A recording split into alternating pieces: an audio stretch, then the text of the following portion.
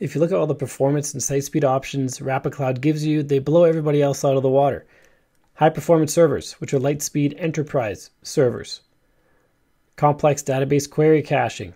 Free Redis caching with Relay. Usually you pay extra for that. On other hosts, it comes included. High performance database. High performance PHP. Performance boosts, which are coming soon. Server level caching. Free Object Cache Pro, which is an extra cost generally. Free Rapyd Cloud CDN.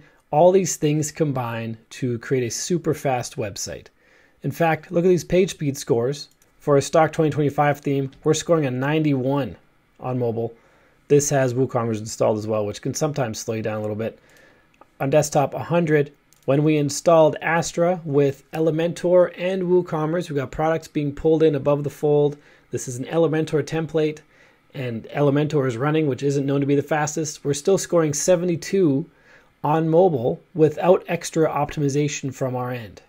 There's more we can do to get this up to a higher level. So the starting point you're starting at is amazing with Rapyd Cloud.